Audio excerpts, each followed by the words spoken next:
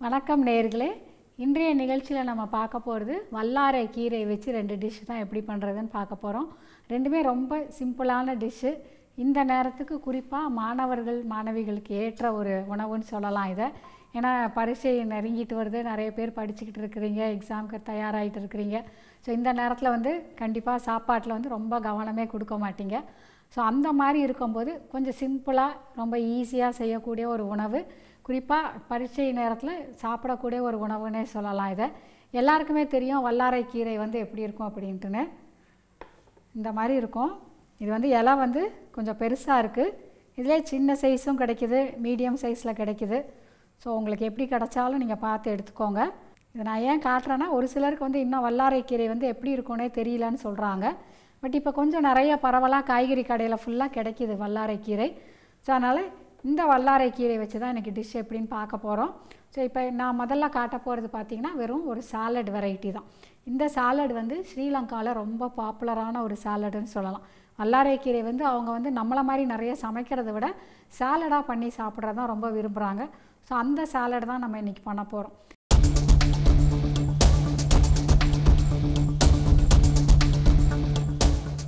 வல்லாரை சாலட் செய்ய தேவையான பொருட்கள் வல்லாரை கீரை ஒரு கப் சின்ன வெங்காயம் ஐந்து தக்காளி ஒன்று எலுமிச்சை சாறு இரண்டு தேக்கரண்டி உப்பு ருசிக்கேற்ப மிளகு சீரகப்பொடி ஒரு தேக்கரண்டி தேங்காய் துருவல் ஒரு மேஜை கரண்டி வேர்க்கடலை ஒரு மேஜை கரண்டி வெள்ளரி விதை ஒரு தேக்கரண்டி.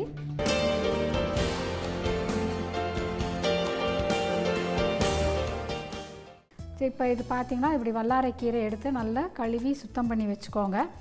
அதுக்கப்புறம் இந்த நல்ல இந்த காம்பு வந்து கொஞ்சம் நீளமாக இருக்கும். நல்ல இவ்வளோ நீளத்தில் இருக்கும். அதெல்லாத்தையும் கட் பண்ணி எடுத்துருங்க. கட் பண்ணிவிட்டு கீரையை நல்லா பொடியாக நறுக்கிக்கோங்க.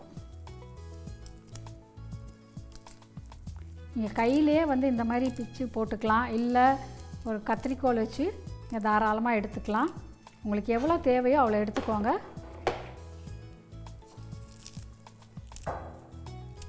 இந்த வல்லாரை கீரைக்கு வந்து பார்த்திங்கன்னா பிரம்மின்னு ஒரு பேர் உண்டு. அடுத்தது சரஸ்வதி கீரை அப்படின்னும் சொல்லுவாங்க இதை. இதுக்கு வந்து ஸ்ரீலங்காவில் வந்து கொட்டுகோலா அப்படின்னு சொல்லுவாங்க.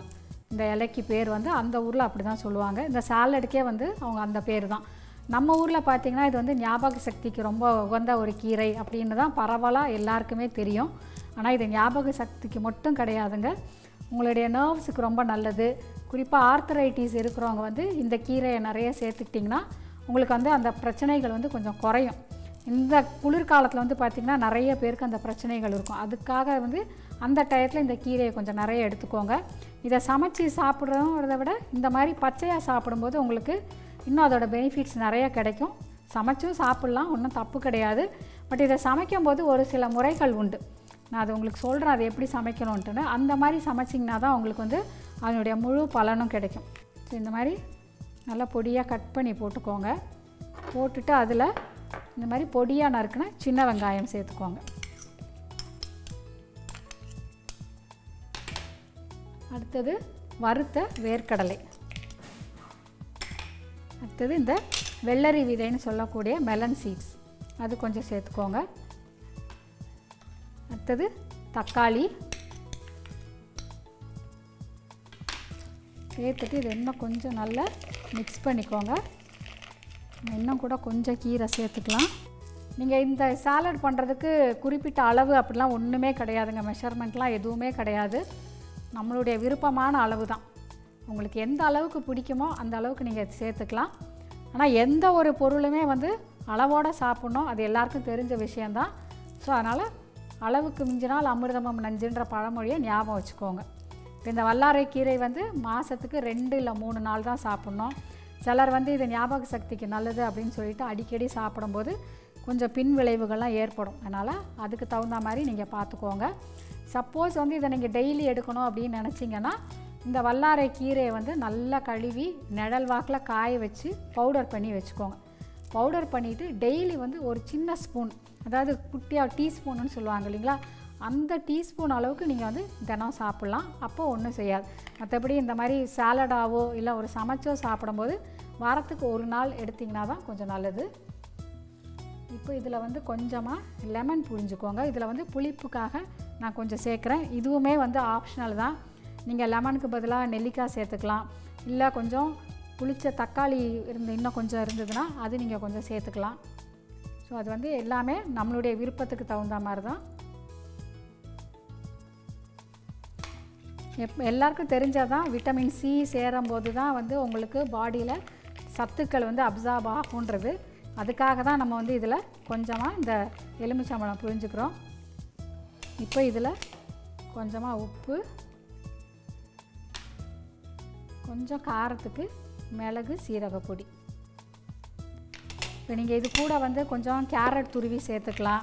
இல்லை லெமனுக்கு பதிலாக நெல்லிக்காய் வந்து கொஞ்சம் நல்ல துருவி சேர்த்துக்கலாம். அதே மாதிரி இஞ்சி துருவலும் நீங்கள் இது கூட தாராளமாக சேர்த்துக்கலாம். இந்த சாலட் வந்து பாருங்கள் ரொம்ப சிம்பிளாக செய்யக்கூடியது. ரொம்ப கஷ்டமே கிடையாது. கீரை மட்டும் வச்சுருந்தீங்கன்னா நல்லா இந்த மாதிரி மிக்ஸ் பண்ணிட்டிங்கன்னா உங்களுக்கு ஒரு சாலட் சரியாக இருக்கும். இது வந்து சாப்பிடும்போது ஒரு துவர்ப்பு தன்மையோடு இருக்கும். இந்த வல்லாரை கீரைக்கு வந்து அந்த துவர்ப்பு தன்மை உண்டு. ஸோ உங்களுக்கு அறுசுவையில் வந்து நம்ம துவர்ப்பை தான் ரொம்பவே அவாய்ட் பண்ணுவோம். துவர்ப்பும் கசப்பும். துவர்ப்பு சுவை இருக்கிற உணவுகள் வந்து ரொம்ப கொஞ்சம் தான் அதில் ஒரு உணவு வந்து இந்த வல்லாரை கீரை. ஸோ அதனால் அந்த துவர்ப்பு தன்மை நம்ம உடம்புல சேரணும்னு நினைக்கும் போது நீங்கள் வாழைப்பூ அதெல்லாம் சேர்க்கும்போது அதே மாதிரி வல்லாரை கீரையும் கொஞ்சம் சேர்த்துக்கோங்க. இப்போ இதில் வந்து கொஞ்சமாக தேங்காய் துருவல். நல்ல ஃப்ரெஷ்ஷு தேங்காய் துருவலுக்கும் நிறைய சத்துக்கள் உண்டு. எல்லோரும் வந்து தேங்காய் வந்து கொலஸ்ட்ரால்னு நினச்சி நம்ம வந்து ரொம்ப அவாய்ட் பண்ணுறோம் ஆனால் தேங்காயில் வந்து கொலஸ்ட்ரால் கிடையாதுங்க. குறிப்பாக வந்து பச்சை தேங்காய் துருவல் நீங்கள் சாப்பிடும்போது உங்களுக்கு அது வந்து கொலஸ்ட்ராலே கிடையாது. அது நீங்கள் சமைக்கும் போது ரொம்ப ஓவராக குக் பண்ணிட்டீங்க. ரொம்ப நேரம் அதை சமைச்சிங்கன்னா தான் உங்களுக்கு வந்து அதில் கொலஸ்ட்ரால் வரக்கூடிய வா தன்மை ஜாஸ்தி. மற்றபடி பச்சை தேங்காய் துருவலில் எந்த ஒரு கெடுதலுமே கிடையாது. இதை நீங்கள் நல்ல தேங்காயை வந்து சில்லு சில்லாக இது பண்ணி வாயில் போட்டு நல்லா சவைச்சி சாப்பிடும்போது உங்கள் பற்களுக்கு வந்து அது ரொம்பவே ஹெல்ப் பண்ணும். அதே மாதிரி நல்ல ஒரு ஸ்ட்ரென்த்து கிடைக்கும். இப்போ யாருமே வந்து நம்ம எந்த பொருளையுமே கடித்து சாப்பிட்றது கிடையாது சவைச்சி சாப்பிட்றதில்ல. அதனால தான் பற்களுக்கு வந்து அந்த அளவுக்கு பலம் இல்லாமல் போகிறதுக்கு காரணம் அது ஒரு ரீசன் ஸோ நீங்கள் அந்த தேங்காயெல்லாம் வந்து சின்ன சின்னதாக பொடியாக பல் மாதிரி நறுக்கி இல்லை இந்த மாதிரி தேங்காய் துருவெல்லாம் சாப்பிடும்போது உங்களுக்கு அதனுடைய நல்ல குணங்கள் வந்து நிறைய கிடைக்கும். ஸோ இப்போ இந்த வல்லாரை கீரை சாலட் வந்து தயாராகிருச்சு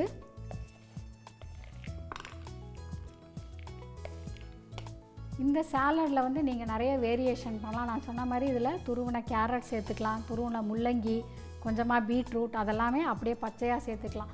சப்போஸ் எங்களுக்கு இந்த கீரையை பச்சையாக சாப்பிட பிடிக்கலை வேண்டாம் அப்படின்னு நினைக்கிறவங்க ஜஸ்ட்டு அந்த கீரையை வந்து கட் பண்ணுறதுக்கு முன்னாடி ஆவியில் ஒரு அஞ்சு நிமிஷம் வேக வச்சு எடுத்துட்டு அதுக்கப்புறம் நீங்கள் அதை தாராளமாக கட் பண்ணி யூஸ் பண்ணிக்கலாம். ஸோ இப்போ இந்த கீரை சமைக்கும் போது பார்த்திங்கன்னா இந்த கீரை எப்போ சமைச்சாலும் அது கூட வந்து புளி சேர்க்கவே கூடாது. புளி சேர்த்து வல்லாரைக்கீரை சமைக்கவே கூடாது. நிறைய பேர் வந்து வல்லாரைக்கீரை சட்னி அரைக்கும் போது அதோட புளி சேர்த்துருவாங்க. அந்த புளி சேர்த்திங்கன்னா அதனுடைய மருத்துவ குணங்கள் ஃபுல்லாக அடிபட்டு போயிடும் அதனால் அதில் புளிப்புக்கு வந்து ஒன்று நீங்கள் நெல்லிக்காய் சேர்க்கணும். இல்லைனா எலுமிச்சை சாறு இல்லைனா தக்காளி. இவ்வளோ தான் அதுக்கு சேர்க்கணும். தயவு செஞ்சு புளி சேர்த்து அதை சமைக்காதீங்க. இந்த கீரையை வந்து கூட்டு பண்ணலாம் பொரியல் பண்ணலாம் சட்னி பண்ணலாம். அதே மாதிரி பருப்போடு சேர்த்து சாம்பார் இல்லை பருப்பு மசியல் அந்த மாதிரி எப்படி வேணாலும் நீங்கள் செய்யலாம். அடுத்தது பார்த்திங்கன்னா இந்த வல்லாரை கீரை வந்து ஞாபக சக்திக்கு ரொம்ப நல்லதுன்னு சொன்னேன். அதே மாதிரி அந்த மூட்டு வலி ஆர்த்தரைட்டிஸ்ன்னு சொல்லக்கூடிய அந்த முட்டு ஜாயிண்ட்டுன்னு சொல்லுவாங்க. அந்த வலிகளை குறைக்கக்கூடிய தன்மை இதுக்கு நிறைய உண்டு. அதே மாதிரி இந்த நம்மளுக்கு நர்வ்ஸ் வீக்காக இருக்கும்போது இந்த வல்லாரை கீரை எடுத்துக்கிட்டிங்கன்னா உங்களுடைய நர்வ்ஸ் நரம்புகளுக்கு வந்து கொஞ்சம் நல்ல பலம் கொடுக்கக்கூடிய ஒரு கீரை வந்து வல்லாரை கீரை.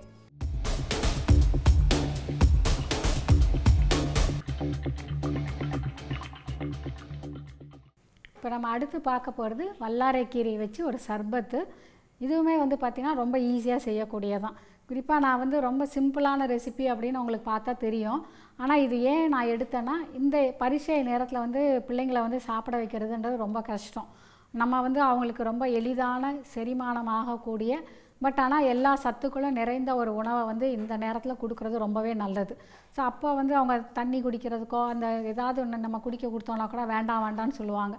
ஸோ ஒரு பிளெயினாக ஒரு தண்ணி குடிக்க சொல்கிறதுக்கு பதிலாக இந்த மாதிரி ஒரு சர்பத் மாதிரி நீங்கள் கொடுத்தீங்கன்னா அவங்களுக்கு குடிக்கிறதுக்கும் ஈஸியாக இருக்கும். நம்மளுக்கும் வந்து ஓரளவு சத்து நிறைந்த ஒரு இதை கொடுத்தோன்ற ஒரு திருப்தியும் இருக்கும். இந்த வல்லாரைக்கீரை ஞாபக சக்திக்குன்றனால இந்த நேரத்தில் கண்டிப்பாக யாருமே வேண்டான்னு சொல்ல மாட்டாங்க. ஸோ அதுக்காக தான் நான் அதை எடுத்திருக்கேன்.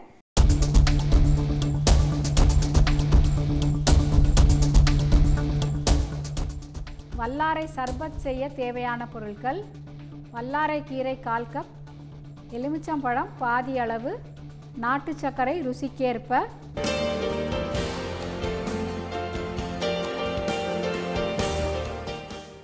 இப்போ இதை வந்து முதல்ல ஒரு பாத்திரத்தில் தண்ணி சூடு பண்ணிக்குவோம். இந்த தண்ணியில் இந்த வல்லாரை கீரையை கொஞ்சம் ஒரு ஒரு டம்ளர் அளவுக்கு உங்களுக்கு சர்பத் வேணும் அப்படின்னு நினச்சிங்கன்னா ஒரு பத்து பதினஞ்சு இலை எடுத்துக்கோங்க போதும். அதுக்கு மேலே தேவை இருக்காது. அதை வந்து நல்ல இந்த மாதிரி ஸ்டிச்சு போட்டுக்கோங்க.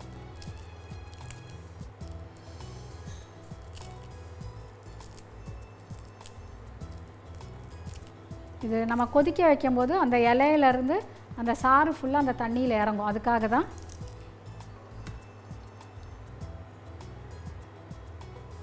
நம்ம தமிழ்நாட்டு உணவில் வந்து வல்லாரைக்கீரைக்கு ரொம்ப முக்கியமான ஒரு இடம் உண்டு. இந்த வச்சு நம்ம ஊரில் வந்து நிறைய பழமொழிலாம் சொல்லுவாங்க. அதாவது வல்லாரை உண்போரிடம் சொல்லாடாதே அப்படின்னு ஒரு பெரிய ரொம்ப ஃபேமஸான பழமொழி அது.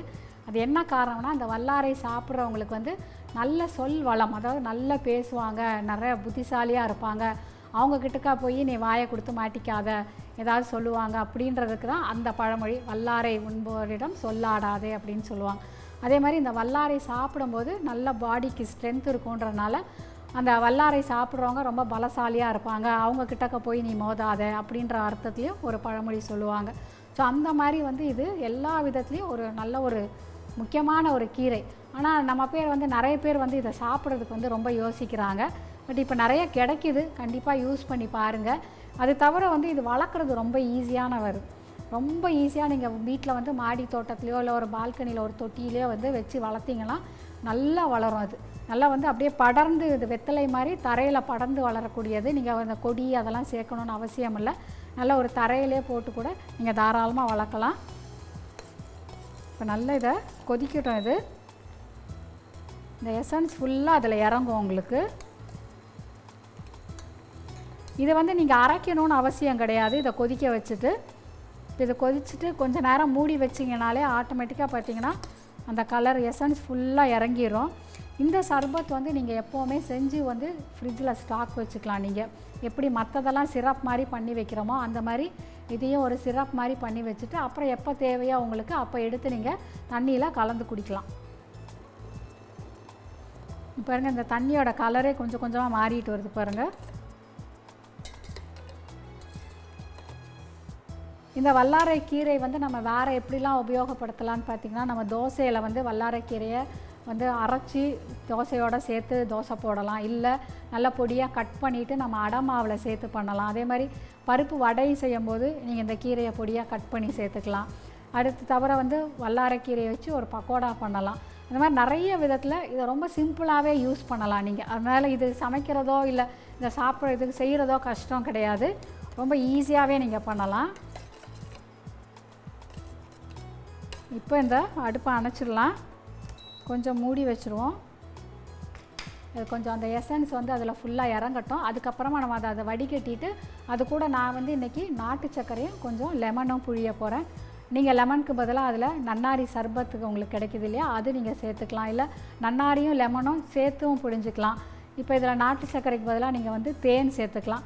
முடிஞ்ச அளவுக்கு வந்து வெள்ளை சர்க்கரையை எங்கெல்லாம் அவாய்ட் பண்ண முடியுமோ அங்கெல்லாம் பண்ணுங்கள் இந்த மாதிரி நாட்டு சர்க்கரை வெல்லம் தேன் அந்த மாதிரி ஒரு கொஞ்சம் இயற்கையாக கொஞ்சம் கலப்படம் இல்லாமல் நம்ம கிடைக்கிறத யூஸ் பண்ணிக்கலாம். பாருங்க. கொஞ்சம் ஓரளவுக்கு நல்லா இறங்கிருச்சு. இப்போ இதிலே வந்து நான் வெல்லம் சேர்த்துக்கிறேன். அதுக்கப்புறமா நம்ம வடிகட்டிக்கலாம்.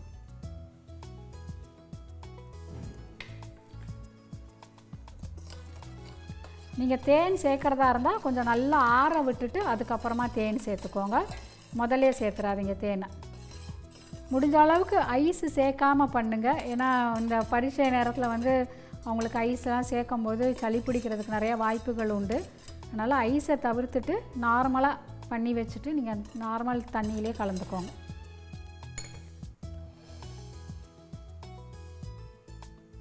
கொஞ்சம் லெமன் புழிஞ்சுக்கோங்க.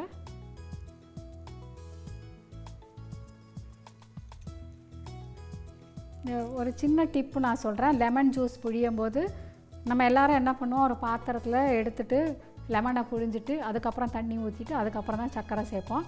அந்த மாதிரி பண்ணாதீங்க. லெமன் ஜூஸ் ஆகட்டும் ஆரஞ்சு ஜூஸ் ஆகட்டும். எது நீங்கள் புழியறதா இருந்தாலும் நீங்கள் எந்த பாத்திரத்தில் புழியணும்னு நினைக்கிறீங்களோ அந்த பாத்திரத்தில் ஒரு சிட்டிகை உப்போ இல்லைனா ஒரு ஸ்பூன் அளவுக்கு சர்க்கரை சேர்த்துக்கோங்க. அதாவது வெள்ளமோ ஏதோ ஒன்று ஒரு இனிப்புக்கு. அதை சேர்த்துட்டு அதுக்கப்புறம் நீங்கள் புழிஞ்சிங்கன்னா அந்த ஜூஸ் வந்து கசப்பு தன்மை ஏறாது.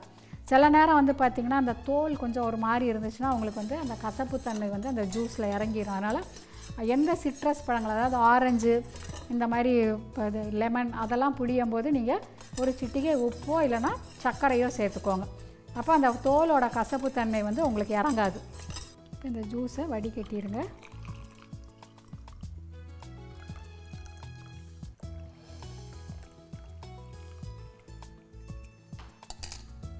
கல்லாரை கீரை சர்பத் வந்து தயாராகிருச்சு இப்போ இந்த லெமனை வந்து எல்லோரும் கண்டிப்பாக ஃப்ரிட்ஜ் வச்சுருக்கோம் வீட்டில் ஃப்ரிட்ஜ் உள்ளே வச்சுட்டிங்கன்னா உங்களுக்கு ஃப்ரிட்ஜில் வர பேட் ஸ்மெல்லை வந்து எடுக்கக்கூடிய தன்மை இந்த லெமனுக்கு நிறையவே உண்டு. அது தவிர நீங்கள் அதை ஃப்ரிட்ஜில் வச்சுருக்கும் போது அது என்ன ஆகும்னா ஒரு ரெண்டு மூணு நாள் நல்லா காஞ்சிரும்.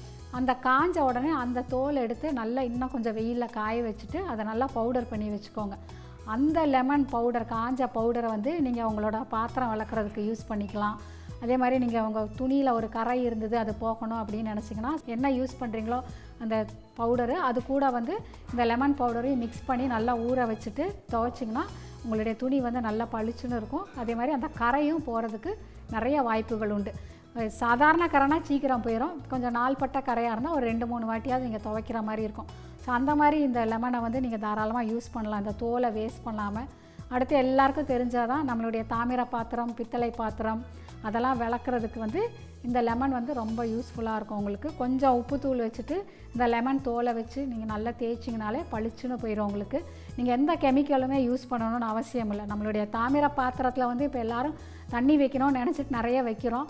ஆனால் அதை எப்படி சுத்தம் பண்ணுறதுன்னு தெரியல. கடையில் விற்கிற கெமிக்கல் பவுடரை வாங்கி தான் பண்ணுறோம். அதுக்கு பதிலாக நீங்கள் இந்த லெமன் வச்சு உப்பு வச்சு நல்லா தேய்ச்சிங்கன்னா உங்களோட பாத்திரம் வந்து ரொம்பவே பளிச்சுன்னு இருக்கும்.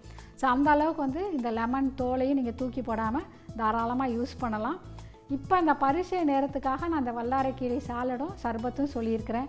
இந்த பரிசைக்கு போகிற குழந்தைங்களுக்காக ஒரு சின்ன சின்ன டிப்ஸு. கண்டிப்பாக வந்து படிக்கிற நேரத்தில் எதுவுமே சாப்பிடாம இருந்துடாதீங்க உங்களுக்கு ப சாப்பிட்ற மூடு இருக்காது. ஆனாலும் ஏதாவது ஒரு சத்து உங்கள் உணவு உடம்புக்கு கண்டிப்பாக தேவை. அப்போ தான் நீங்கள் படித்ததை போய் நல்லா பரிசையில் எழுத முடியும். ஸோ அப்போ ரொம்ப லைட்டாக எளிதாக செரிக்கக்கூடிய ஒரு முளைக்கட்டின பயிறு ஒரு இட்லி கொஞ்சம் தோசை அந்த மாதிரி சின்ன சின்னது. இல்லை இந்த முளைக்கட்டின பயிர் வச்சு ஒரு ப்ரெட்டுக்கு நடுவில் வச்சு ஒரு சாண்ட்விச்சாக அந்த மாதிரி சிம்பிள் உணவாக சாப்பிடுங்க. நிறைய ஹெவியாக சாப்பிட முடியல அப்படின்னு நினைக்கிறவங்க இந்த மாதிரி ஒரு சர்பத்து ஜூஸு பழங்கள் அதெல்லாம் நிறைய எடுத்துக்கிட்டிங்கன்னா உங்களுக்கு கண்டிப்பாக வந்து தேவையான எனர்ஜி கிடைக்கும். அதனால் முடிஞ்ச அளவுக்கு பரீட்சைக்கு போகிற பிள்ளைங்க ப எதுவுமே சாப்பிடாம இருக்காதீங்க. நீங்கள் எவ்வளோ நல்லா சாப்பிட்டு ஆரோக்கியமாக இருந்தால் தான் நீங்கள் படித்ததை போய் ஒழுங்காக பரீட்சையில் எழுத முடியும். அதுக்காகவாது நீங்கள் சாப்பிடுங்க. பேரண்ட்ஸும் வந்து சாப்பிடு சாப்பிடுன்னு அவங்கள ரொம்ப தொல்லை பண்ணாமல் அவங்களுக்கு பிடித்த அளவுக்கு எளிதான செரிமானம் ஆகக்கூடிய உணவு வகைகளாக செஞ்சு கொடுங்க. ஸோ கண்டிப்பாக இந்த ரெண்டு டிஷ்ஷும் எல்லாருக்கும் பிடிச்சிருக்கோன்னு நினைக்கிறேன். இதை ட்ரை பண்ணி பாருங்கள் எப்படி இருந்துச்சுன்னு மறக்காமல் எங்களுக்கு சொல்லுங்கள் இதே மாதிரி ஒரு நல்ல ரெசிபியோட மீண்டும் உங்களை சந்திக்கும் வரை வணக்கம் கூறி விடைபெறுவது கிருஷ்ணகுமாரி ஜெயக்குமார்.